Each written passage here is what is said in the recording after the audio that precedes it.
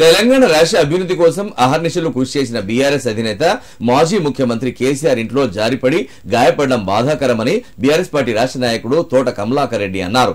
ప్రజల ప్రేమ అభిమానాలతో కేసీఆర్ త్వరగా కోలుకోవాలని ఆకాంక్షించారు. సిద్దిపేట జిల్లా మిరుదొడ్డి మండల కేంద్రంలోని శ్రీ సీతారామచంద్రస్వామి ఆలయంలో కేసీఆర్ త్వరగా కోలుకోవాలని బీఆర్ఎస్ నాయకులతో కలిసి కమలాకర్ రెడ్డి ప్రత్యేక పూజలు నిర్వహించారు. ఈ సందర్భంగా వారు మాట్లాడుతూ తెలంగాణ రాష్ట్ర ఏర్పాటుతో పాటు రాష్ట్రంలోని అన్ని వర్గాల ప్రజల అభ్యున్నతి కోసం కృషి చేసిన ఏకైక నాయకుడు కేసీఆర్ అని కొనియాడారు. ఇంట్లో జారిపడి గాయపడిన కేసీఆర్ యశోద ఆసుపత్రిలో చికిత్స పొందుతున్న విషయాన్ని తెలుసుకున్న ప్రజలు ఆందోళనకు గురవుతున్నారన్నారు. ప్రజల అభ్యున్నతి కోసం అహర్నిశలు పరితపించే కేసీఆర్ త్వరగా కోలుకొని సంపూర్ణ ఆరోగ్యంతో తిరిగి రావాలని భగవంతుని వేడుకున్నట్లు చెప్పారు.